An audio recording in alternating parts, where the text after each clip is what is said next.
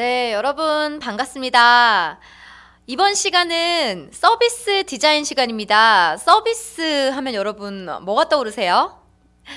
어, 아직도 서비스 하면은 잘 웃어야 된다. 미소, 친절, 이렇게 떠올리시는 분들도 계시지만 사실 정말 서비스의 접점별로 매우 중요한 요소들이 많습니다. 그 중에 오늘은 저와 함께 전화에서의 서비스에 대해서 함께 알아보는 시간 가져보겠습니다. 저는 오늘 여러분들에게 전화, 응대 서비스에 대해서 교육을 할 정소영 강사입니다. 여러분 반갑습니다.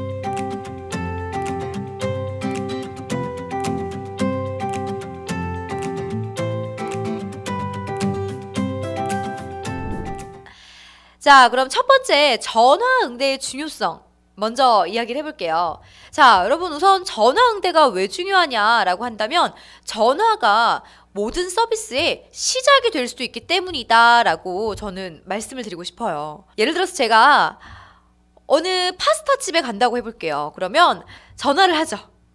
띠띠띠띠띠 눌러서 아, 네, 그 무슨 파스타 집인가요? 어, 제가 지금 가고 있는데 혹시 주차가 가능한가요? 혹은 아 혹시 제가 한 3시쯤 도착할 것 같은데 브레이크 타임은 없나요? 이런 궁금한 점을 고객이 묻게 되죠.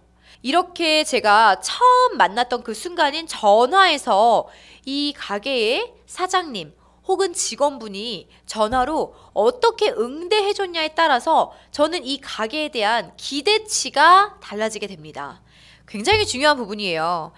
어, 이 전화 응대를 잘 못해서 제가 가던 발걸음을 돌려서 다른 곳으로 갈 수도 있어요. 그래서 우리가 사실 전화에서는 직접 만나지 않았지만 그 사람에 대한 이미지를 각인시킬 수 있는 매우 중요한 순간이다라고 이야기를 하는데요.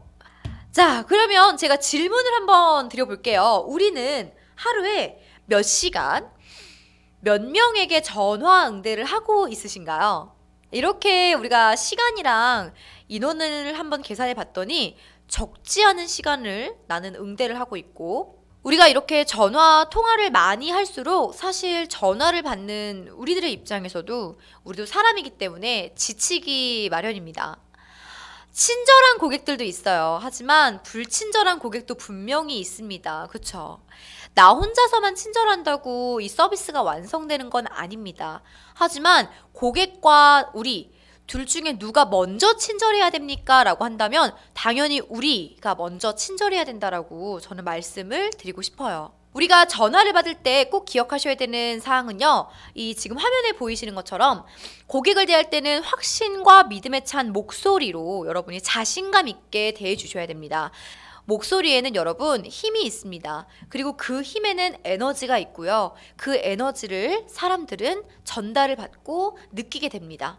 그냥 내가 하고 싶은 말을 기계적으로 응답하는 것은 AI가 하는 거고요.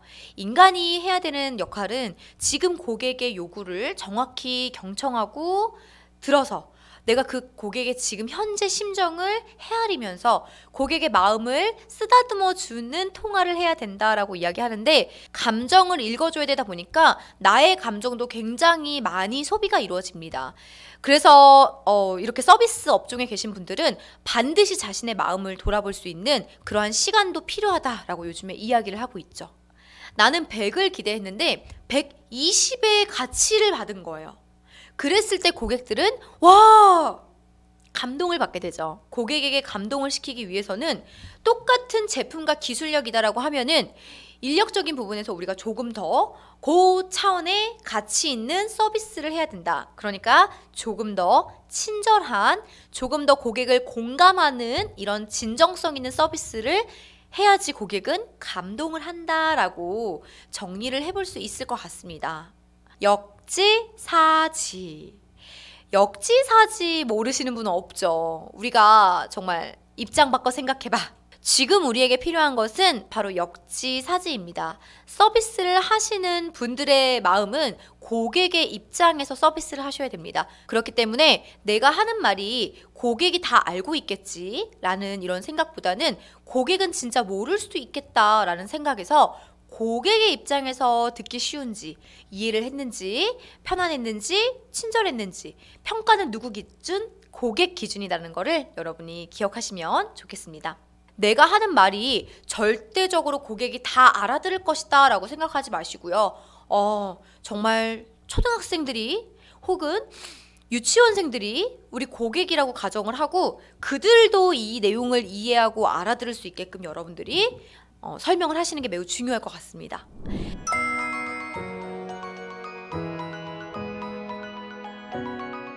자, 그러면 이제 지금부터 전화에 대한 이야기 구체적으로 얘기할게요.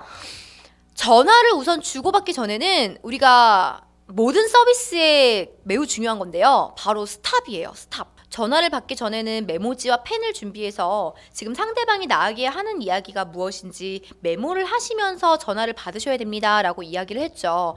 하던 일을 멈추고 지금 이 응대에만 집중하셔야 된다는 거예요.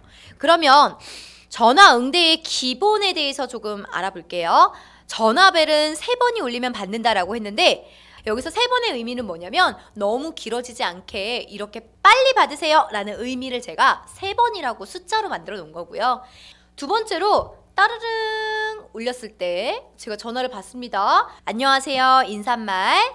자신의 소속 코리아 에듀 부서명 교육팀 누구입니다. 라고 하시는 건데 회사의 이름은 절대 외부 전화를 받으실 때에는 절대 생략하지 않습니다. 안녕하세요. 코리아 에듀 교육팀 정소영입니다. 이렇게 받으시는 거예요. 전화 내용 중에 숫자가 오가는 경우가 있어요. 그럴 때에는 한 번 더 복명복창 해 주십시오. 고유 명사나 이메일 주소나 정확하게 받아 적어야 되는 부분에 있어서는 한 번 더 확인하시는 거예요. 만약에 제가 전화를 받았는데 찾는 사람이 부재 중이에요. 그러니까 부재 시에는 제가 메모를 해서 전달을 해야 되겠죠. 메모를 하실 때에는 여러분이 기억하셔야 되는 게 지금 이 전화가 온 시간을 적어 주셔야 돼요.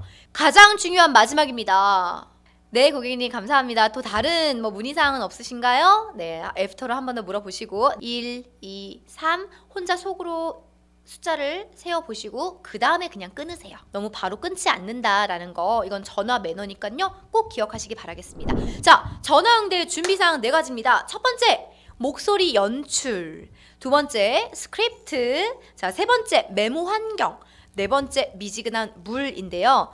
그러면 우리 한번 자기 점검의 시간을 가져볼게요.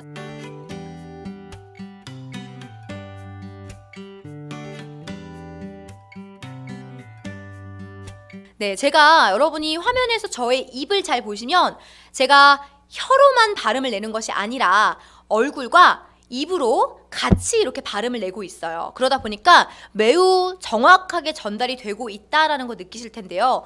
자, 제가 그럼 이제 효과적인 음성 전달에 대해서 한번 체크를 해볼게요. 여러분이 말씀하실 때 중간에 어디에서 쉬냐에 따라서 쉰 다음 번이 강조가 되는 거예요. 그래서 여러분이 상호명을 좀 더 기억을 시켜야 되겠죠? 그랬을 때는 안녕하십니까?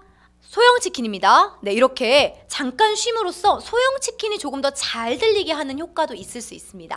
여러분들 뭔가 쉬운 내용들은 빠르게 전달을 해도 되지만 쉽지 않거나 좀 더 어려운 내용일 때에는 천천히 속도를 늦춰서 잘 전달이 될 수 있게끔 이 속도에 따라서도 내용이 여러분이 잘 전달되냐, 전달되지 않냐가 결정될 수 있다 말씀드렸습니다. 이왕이면은 고객이 당장이라는 표현을 썼으면 저도 그 단어를 이용해서 답변을 해주시는 거예요. 그래야 고객의 언어의 입장에서 전달하는 거니까 조금 더 빠르게 이해가 된다라고 말씀드릴 수 있겠고요. 되도록이면 명령어보다는 여러분이 권유형으로 한번 해보시는 거예요. 네, 고객님, 제가 확인해 보겠습니다. 잠시만 기다려 주시겠습니까? 네. 조금 더 친절할 수 있습니다. 반대로 부정형보다는 긍정형을 한번 써보시는 거예요. 아, 고객님, 저희가 그 서비스는 지금 안 됩니다. 보다는 아, 네 고객님, 저희가 현재로서는 지금 해당 요청하신 서비스는 어렵습니다. 네. 이렇게 안 된다의 단호박 거절이 아니라 어렵다라는 해주고 싶으나 안타깝네요라는 감정이 들어가는 표현을 한번 써보시는 건 어떨까요? 중요한 거는 바로 이 쿠션 언어입니다. 네 고객님 이거 한 번 더 접속해 주세요. 지금 번거로운 상황이거든요, 고객이. 다시 접속해야 돼요. 그러면 쿠셔너를 쓰시는 거예요. 아, 고객님 번거로우시겠지만 한 번 더 껐다가 다시 접속해 보시겠습니까? 네, 이렇게 쿠셔너를 넣어줌으로써 조금 더 친절한 서비스의 응대가 될 수 있다라고 말씀드릴 수 있겠습니다. 우리가 고객한테 절대 해서는 안 되는 말 세 가지. 없쇼, 없어요, 안 돼요, 몰라요. 라는 이 말은 절대 하지 맙시다. 라는 거 기억해 주시고요.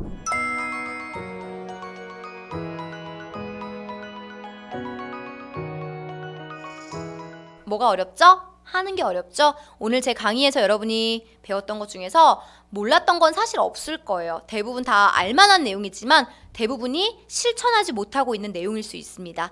오늘 이 시간 이후에는 꼭 한 가지라도 여러분이 명심하시고 기억하시면서 현업에서 적용하셔서 조금 더 좋은 서비스를 하시기 바라겠습니다.